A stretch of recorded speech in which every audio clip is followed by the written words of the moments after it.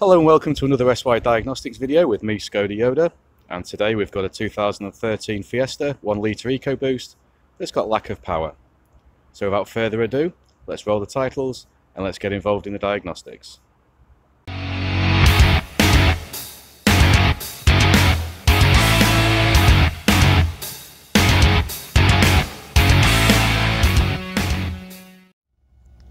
Okay, so the first thing to do, as always, is to confirm the fault. I've just driven the car around the block. It is flat. Doesn't seem to be much performance at all, below 3,000 revs. Then after 3,000 revs, you can feel the turbo kick in. So we're looking at a performance issue, um, which is probably more noticeable driving around town. So what we'll do now, we'll do a quick code read and take the diagnostics further.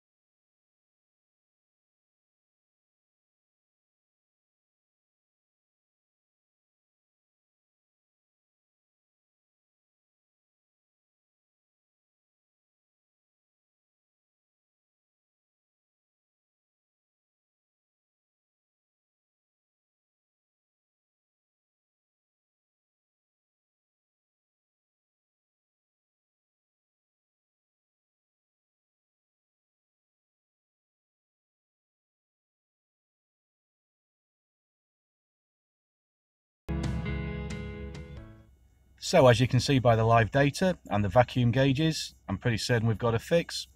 All down to a little check valve on the vacuum pump, which you can't get separately, unfortunately. So we've road tested it. It now goes like a little scalded cat. So I'm pretty certain to say that's a fix in my eyes. Thanks for watching. If you like what you see, consider giving me a thumbs up. If you don't like what you see, and you're against cars having turbos that work, then give me a thumbs down. Until next time, thanks for watching. Have a great day.